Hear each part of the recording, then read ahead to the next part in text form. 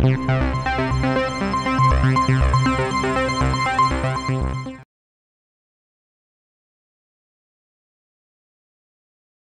this setup I have two spheres and a transparent material. The sphere on the left is obviously invisible because the transparent material makes it transparent. It has no other properties, so there's nothing to see. The sphere on the right, on the other hand, I'm mixing the transparent material with the diffuse shader using the layer weight node to control the factor. And this effect produces a, a good effect for doing things like planet atmospheres because here you've got a situation where it's transparent maximum transparency in the middle and it slowly becomes more and more opaque or in this case red as it approaches the the edge of the sphere this is similar to you know looking through a planet's atmosphere and seeing more and more dust until all you see is dust or you have very little light passing through it you can reverse the effect by swapping the inputs and it works predictably except in this case it's opaque in the center and transparent along the edges as you move outward. Now this effect this effect is actually pretty cool because what it does is it makes it look like a, a volumetric effect. The sphere is you're looking through more material through the center so it looks more opaque there and you're looking through less material along the edges so there's less effect there. So you could use this to mimic a volumetric effect without using volumetrics, which require a lot more processing power to to uh, to draw and calculate. The thing is that this doesn't work like a volumetric because there's no scattering of light in here. There is just light passing through it. Uh, so this this would only work for volumetric absorption. This this only mimics volumetric absorption. It does not mimic volumetric reflection. Which uh, how would you do that? If I had a glossy shader to this, could you mimic volumetric uh, reflection? The problem is it would be glossy reflection. It wouldn't be diffuse reflection. Um, I don't know. You could probably do it if you mix this, let's say, if I add another mix node, a mix shader, and add another diffuse shader with a, let's say, a different color, let's say purple, let's say red, and I mix that.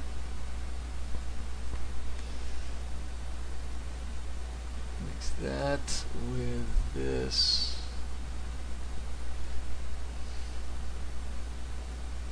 Mix that with that. Instead, uh, come over here. Come over here. Put that there. You can do something like this, where you just have a general red color over everything. And then you have this opacity that increases towards the center that has a blue color. Uh, is this does this look like a volumetric? Mm, I don't know. It's not exactly the same because if you shine a light through this if you shine a light through this would it work like a volumetric I don't know that is a good question let me let me hide this backdrop here, red. Check backdrop. What does that look like? Does it work like a volumetric? I don't know. I mean, like I said, you would have to do tests by putting a light through there and see if you only see the light. I doubt it, because these effects are all surface effects. You wouldn't actually see a beam passing through it. You would probably only see a light spot on one face a light spot on one face where the where the light beam enters a light spot on one place where the light place where the light beam enters and another light spot on the other face where the light beam exits or maybe not even a light spot on the exit side because there is no well it is a transparent material so there might be one here but um, but you probably wouldn't see anything inside the material since it's not a volumetric It's only this only works for reflected light. Does not work for scattered light. Uh, no, yeah, it works for transmitted light. It does not work for scattered light. So only light that's passing towards the camera through the material is affected. Light that's passing through uh, through the material that does not go towards the camera is not affected by this material. So yeah, so you, if you want to use it, if you if you need to do a quick and dirty effect like a halo, la, um, like particle halos, you can do this. This would work. Here's a setup that demonstrates what I was talking about earlier, how light that passes through the object is not affected by uh, the material, only the light that bounces towards the camera that is reflected towards the camera appears like a volumetric. You can see here that the shadow being cast by the object is black. It is not blue. It does have the the gradient effect where more light passes through the edge than in the center, but the light is black. So the light is essentially this is tr it's treating this as if it were just a shadow and not a volumetric it's not really volumetric absorption as long as you uh, it, it's not really volumetric absorption if you consider shadows if you only look at it from the front it's fine but any shadows that this object might cast will uh, will not appear correct. Uh, you can also see here the dark band here is because at this point there's no very little uh, there's no light coming from the front and there's very little reflected light hitting it and so it's mainly black because you're not seeing any light here and here it's blue because some of the light is being reflected off this diffuse material the, the diffuse surface and lighting it up from the back and causing it to be blue. But you can see that the light that passes through the object is not blue. It is black.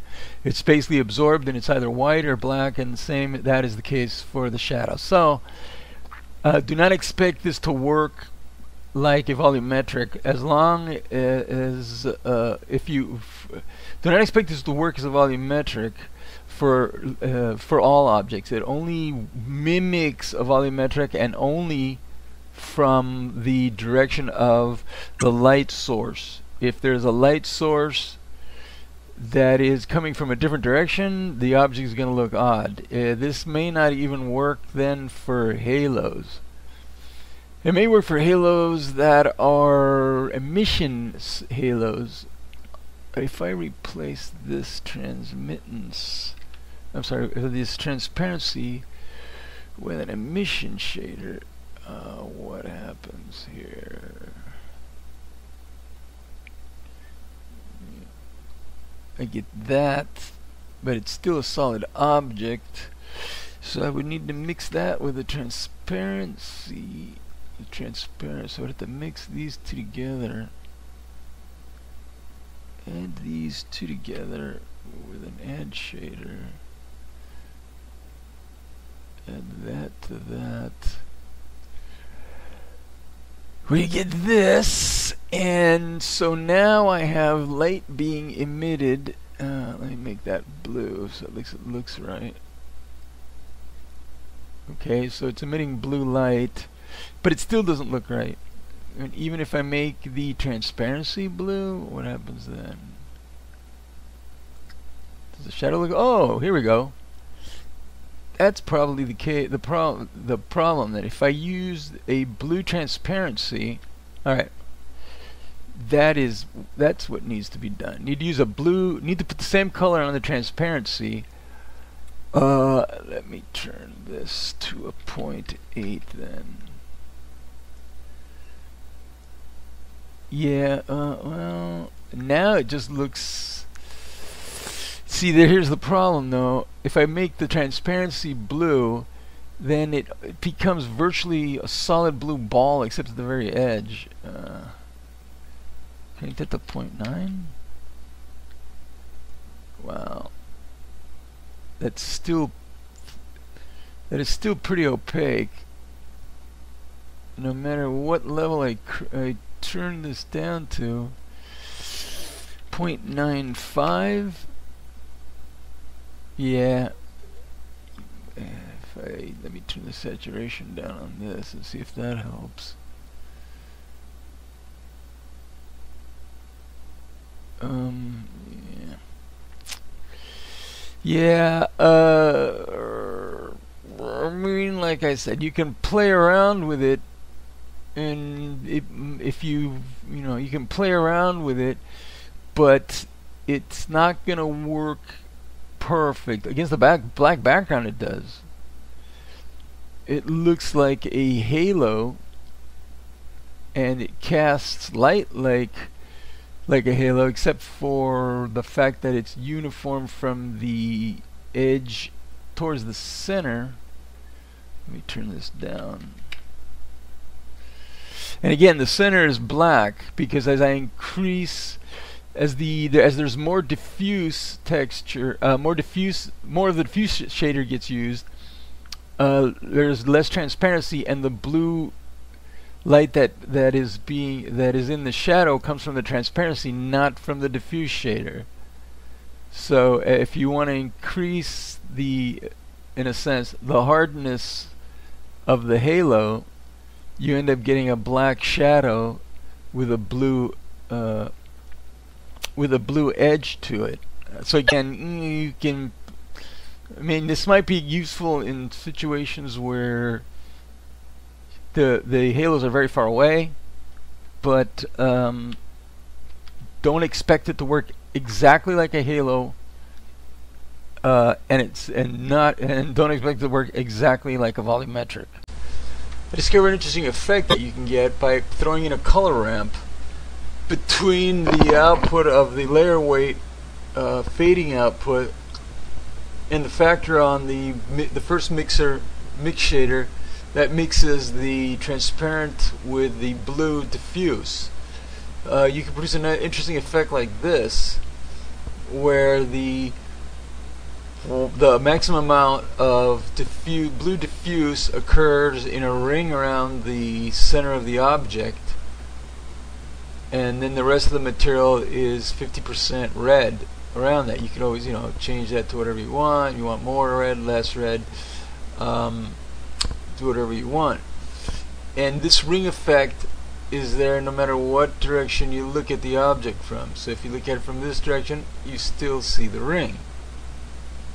Again, this could be useful if you want to have multicolored halos, if you want to generate a halo for part for particles uh, that always looks like it's facing the camera. You can do this. Um, you know, you can put in more color stops in the color ramp and produce multiple you can produce multiple rings here uh, you can add more diffuse color, more diffuse colors with more mixers to have each one of them be a different color. Uh, of course, you could always have a diffuse. You could always change, set the color of the diffuse shader using uh, a color ramp and the same output of the layer weight. You can take the layer weight of the output of layer weight run it through a color ramp, feed it into the input of the diffuse mixer. You, you know, you could do if you if I did this, I would get that. Uh, so if I have this, and I could, you know, if I add another color ramp here and make instead make this uh, make this green.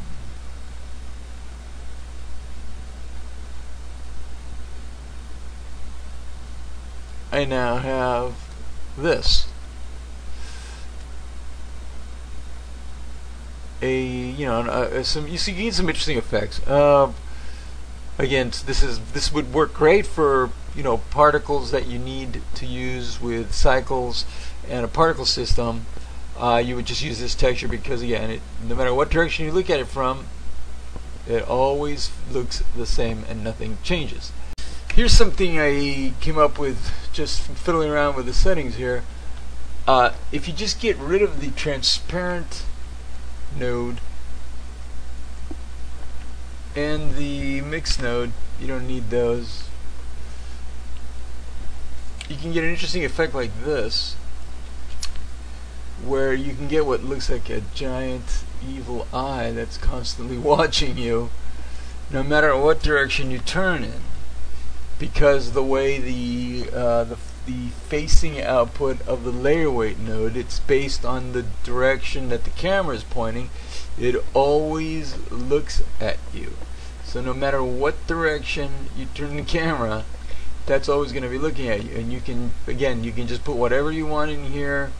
Uh, you could probably put if you put a a texture here I don't know if that would work. If you put a texture here it would just end up with a because this is radial. This is based on the distance between here and here. If you use it as a texture coordinate you might be able to generate some lines I don't know I have to I'll have to try that see if that works um, but yeah, if you do this, you can get what looks like an evil eye. Again, so this this would work great with a particle system, or or uh, any other setup where you need something that's constantly facing the camera without having to rotate it. This is an interesting effect here. If I if I take the output